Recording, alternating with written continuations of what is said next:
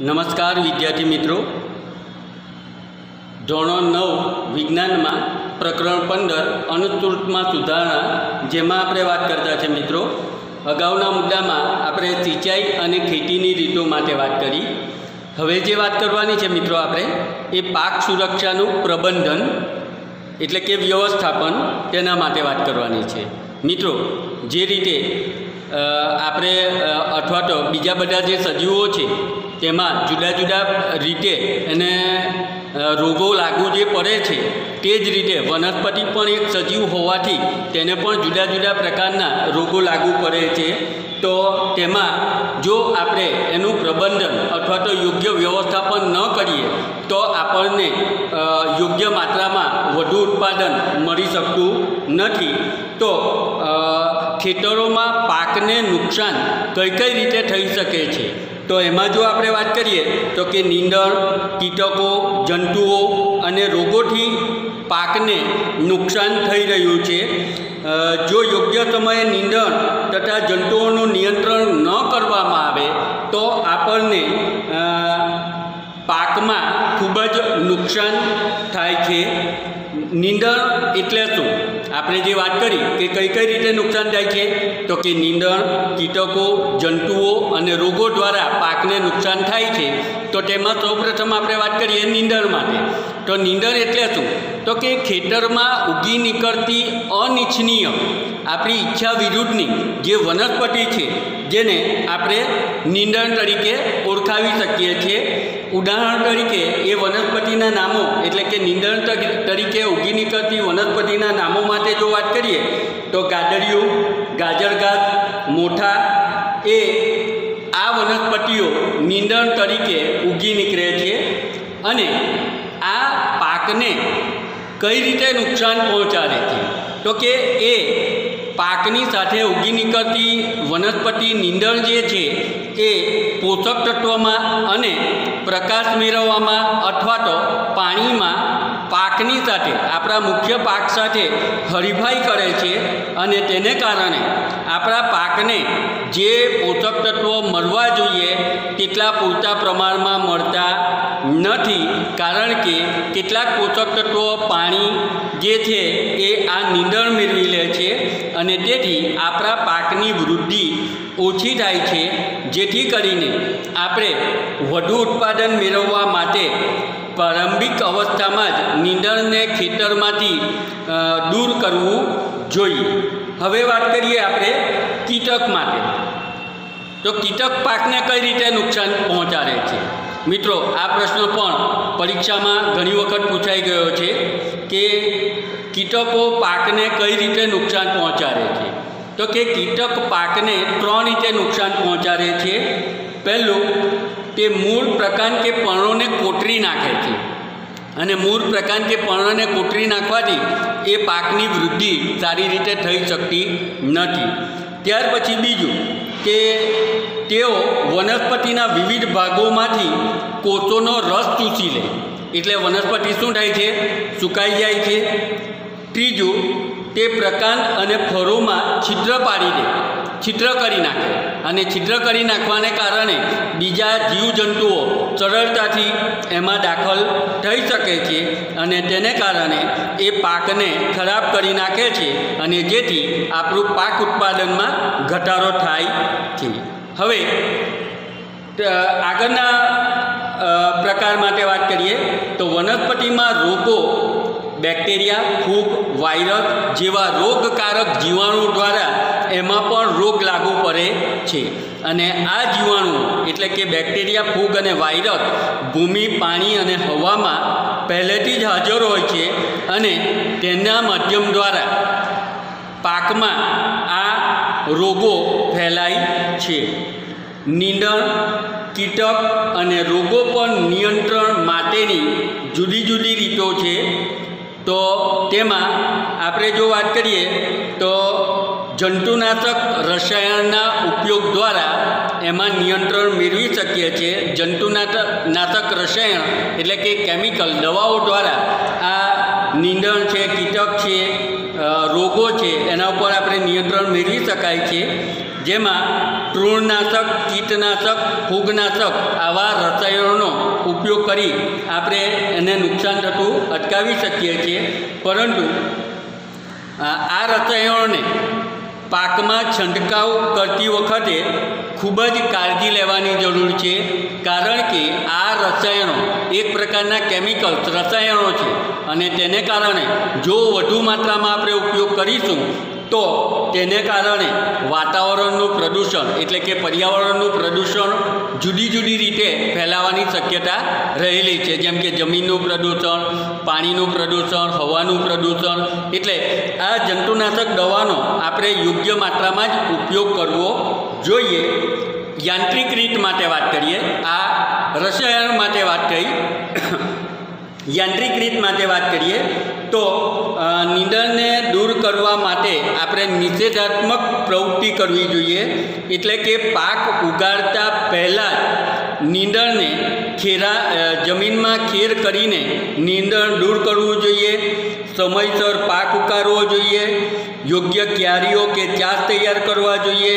આપણે અગાઉ પદ્ધતિઓ માટે વાત કરી ગયા. પાકની ફેરબદલી આંતરપાક પદ્ધતિ, આવી પદ્ધતિનો ઉપયોગ કરવો જોઈએ.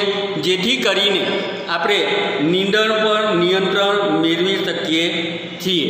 સાથે સાથે વાત કરીએ તો કે જંતુઓ પર નિયંત્રણ મેળવવા માટે અગાઉની રીતો તો ઉપયોગી છે જ. સાથે સાથે આપણે પાકની એવી જાતો પસંદગી કરવી જોઈએ કે જે આ જંતુઓનો પ્રતિકાર કરી શકે, રોગનો પ્રતિકાર કરી શકે. તેવી પાકની જાતની આપણે પસંદગી કરવી જોઈએ અને સાથે સાથે જ્યારે આ પાક લેવાય, ઉત્પાદન થઈ જાય, ત્યાર પછી જમીનમાં, એટલે કે ઉનાળામાં, હળ દ્વારા જમીનને બરાબર ખેરીને આપણે આ નીંદણ અને જંતુઓથી મુક્ત કરી શકીએ છીએ, જેથી કરીને આપણને પાક ઉત્પાદન વધુ મળી શકે છે. આગળ વાત કરીએ આપણે, તો આપણે પાક ઉત્પાદન લઈ તો લીધું, પરંતુ સાથે સાથે એ અનાજનો જે સંગ્રહ થાય છે, તેમાં પણ આ કેટલાક કીટકો દ્વારા નુકસાન થાય છે. તો એ અનાજના સંગ્રહ માટે આપણે વાત કરીએ તો કે આપણે જે ઉત્પાદન મેળવીએ છીએ, પાક ઉત્પાદન થઈ ગયું, અનાજ મેળવી લીધું, તો એનો સંગ્રહનો પણ એક મોટો પ્રશ્ન છે.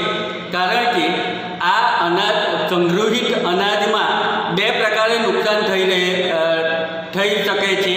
જૈવિક પરિબળો દ્વારા અને અજૈવિક પરિબળો. મિત્રો, આ પ્રશ્નો પણ ખાસ ધ્યાન રાખજો કે અનાજ સંગ્રહ માટે કયા પ્રકારની સાવચેતીઓ રાખવી જોઈએ અથવા તો સંગ્રહિત અનાજમાં કયા પરિબળો એને નુકસાન પહોંચાડી શકે છે. તો આપણે વાત કરીએ તો કે બે પ્રકારે નુકસાન થઈ શકે છે. એનામાં અસર કરતા બે પરિબળો છે. એક તો જૈવિક પરિબળ અને અજૈવિક પરિબળ. જૈવિક પરિબળ એટલે સજીવો દ્વારા અને અજૈવિક પરિ, પરિબળ એટલે નિર્જીવ.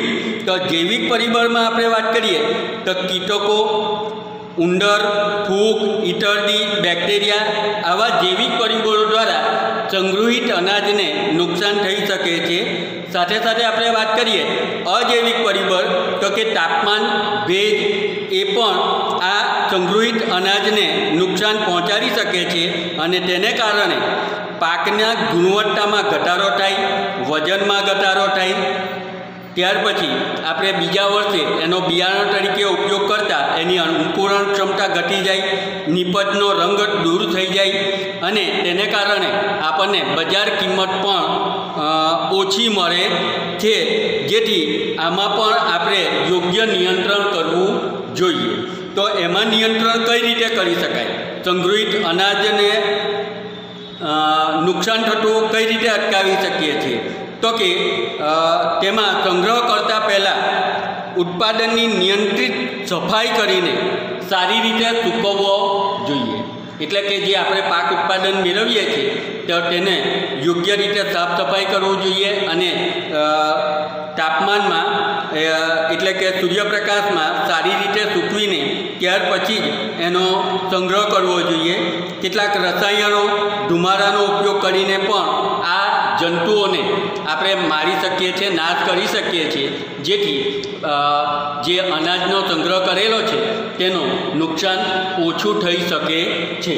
તો મિત્રો, અહીં આગળ આપણે આ જે પાક સુરક્ષાનું પ્રબંધન કઈ રીતે કરવાનું છે અને અનાજનો સંગ્રહ માટેની પદ્ધતિઓ કઈ છે, તેના માટે અહીં આગળ આપણે જોવાનું છે. તો તેને નિહાળીએ. ખેતરોમાં પાકને નીંદણ, કીટકો, જંતુઓ અને રોગોથી નુકસાન થતું હોય છે. જો યોગ્ય સમયે નીંદણ તથા જંતુઓનું નિયંત્રણ ન કરવામાં આવે, તો પાકને ખૂબ જ નુકસાન થાય છે. નીંદણ ખેતી ઉપયોગી ભૂમિમાં અનાવશ્યક વનસ્પતિઓ છે. ઉદાહરણ તરીકે ગાર્ડરી એટલે કે ઝેન્થિયમ ગાજર ઘાસ એટલે કે પાર્થેનિયમ, મોથા તથા પ્રકાશ માટે સ્પર્ધા કરે છે. નીંદણ પોષક તત્વો પણ મેળવે છે, જેનાથી પાકની વૃદ્ધિ ઓછી થઈ જાય છે. એટલા માટે સારી ઉપજ માટે પ્રારંભિક અવસ્થામાં જ નીંદણને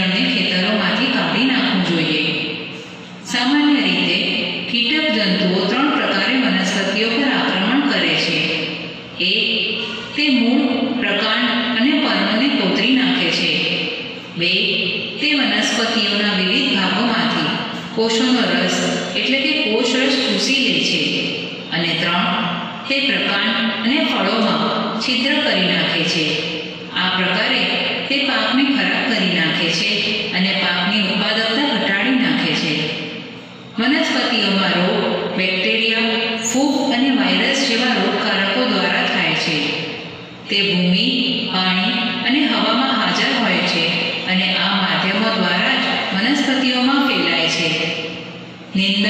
કીટકો અને રોગો પર નિયંત્રણ જુદી જુદી રીતો દ્વારા કરી શકાય છે. આમાં સૌથી વધારે પ્રચલિત રીત જંતુનાશક રસાયણના ઉપયોગની છે. તેમાં તૃણનાશક, કીટનાશક અને ફૂગનાશકનો સમાવેશ થાય છે. આ રસાયણોનો પાકની વનસ્પતિઓ પર છંટકાવ કરવામાં આવે છે અથવા બીજ અને ભૂમિના ઉપચાર માટે ઉપયોગ કરાય છે. પરંતુ તેઓનો વધુ માત્રામાં ઉપયોગ કરવાથી ઘણી બધી સમસ્યાઓ ઉત્પન્ન થઈ શકે છે. જેમ કે, તે કેટલીક વનસ્પતિઓ અને પ્રાણીઓ માટે વિષાણુ પદાર્થો હોઈ શકે છે અને પર્યાવરણીય પ્રદૂષણનું કારણ પણ હોઈ શકે છે. યાંત્રિક રીત દ્વારા નીંદણને દૂર કરવું એ પણ એક રીત છે. નિષેધાત્મક રીતો જેવી કે, સમય પર પાક ઉગાડવો, યોગ્ય ક્યારીઓ કે ચાસ તૈયાર કરવા, આંતરિક પાક લેવા